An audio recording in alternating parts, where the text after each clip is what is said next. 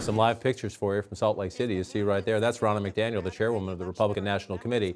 The Republican National Committee is about to vote to formally censure two of its own Republican House members Liz Cheney and Adam Kinzinger. They are being punished because they think Donald Trump is dangerous and because they are working with Democrats on the Select Committee investigating the January 6th attacks. Now, that RNC meeting, as I just noted, is in Salt Lake City, Utah. One of that state's Republican senators takes issue. Senator Mitt Romney, who 10 years ago was the party's presidential nominee, says this on Twitter Honor attaches to Liz Cheney and Adam Kinzinger for seeking truth, even when doing so comes at great personal cost. Our panel of reporters is back with us. And Malika Henderson, to you first, the great irony here. It is Ronna Romney McDaniel. right. She is the niece. Uh, she is the niece of Senator Mitt Romney, former presidential nominee uh, Mitt Romney. Uh, she is a Donald Trump ally. Many would use a stronger or more negative term. Uh, he is very much not.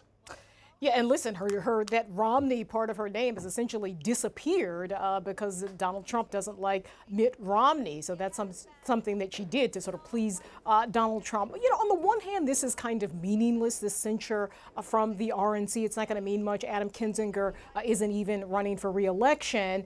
But it is quite meaningful, and it shows you how loyal the RNC is to Donald Trump. He tweeted, I think, just a, a few days ago about how terrible uh, the work of the January 6th committee is, how it really should be focusing on uh, the big lie he's been telling about 2020, which we, of course, know is a crazy conspiracy theory. Uh, but yeah, I mean, she is enthralled to Donald Trump. Many Republicans are too. And Lynch, Liz Cheney uh, has got a real battle on her hands in her fight for reelection. She's been able to raise a ton of money. You've got a challenger uh, in that race that Donald Trump has given, I think, something like $5,000 to, uh, which isn't that much money. Uh, but nonetheless, she has become a big target of Donald Trump, and hence she's going to be censured, it looks like, uh, by the RNC. I agree with you mostly to your point that does this matter in the sense that I don't think there's any voter uh, in Wyoming, or if Adam, Adam Kinzinger is not running for reelection, if he runs for something down the line, who's going to say, what does the RNC think? Let me check in with the RNC's official position on these candidates. But I do think this, it does matter this, because she is the head, she's the CEO of an institution, one of America's major, major political parties, the Republican National Committee. And this is what she says, Ryan Nobles, to the Washington Post about January 6th we've had two members engage in a Democrat led persecution of ordinary citizens who engaged in legitimate political discourse. Ordinary citizens who engaged in legitimate political discourse. No, insurrectionists who attacked the United States Capitol, the United States government, chanted, Hang Mike Pence. We're trying to find Speaker Pelosi, and we're trying to disrupt the peaceful transfer of power in a democracy. You cannot have a political party in the United States of America say that its official position is that that was, quote, legitimate political discourse. You know, John, you're absolutely right. And that statement just shows how day by day, Republican leadership has become further and further uh, tethered away from the truth and in an attempt to almost whitewash what happened here on January 6th. But I also think that we shouldn't lose sight of the machinations of what happened in that RNC meeting.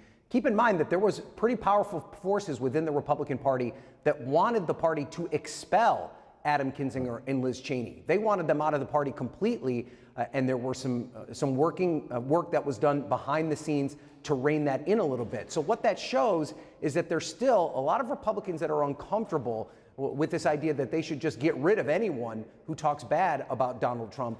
But the loudest voices are the ones uh, that kind of sidle up next to the former president and, and, pledge their devotion and loyalty to them. This is going to be a, play a big role in the speaker's race if the Republicans win back the House minority, right? Or they win the majority back, I should say that loyalty to Trump versus that middle lane of Republicans that want to, uh, you know, expose themselves to a, a bigger political tent. And, uh, Ryan makes a key point, Aisha, that they did have to they did have to water down the language some so they could get a big unanimous vote. That's what they wanted. Uh, and you have some old friends of the Bush family. I was just looking at the pictures there. Old friends of Mitt Romney in that room. So they did have to water down the language. But there still is proof that Donald Trump is calling the shots because they are changing the party rules today. Normally, the party would not spend money against one of its incumbents. They are changing the rules so that the party can spend money to support Liz Cheney's challenger, who Nia mentioned the numbers. We can just show you on the graph. Liz Cheney has raised $7.1 million. Her challenger is below a million dollars, $745,000. So the fact that they are changing the rules so they can flood party money in there to help is A, a big deal, and B, proof.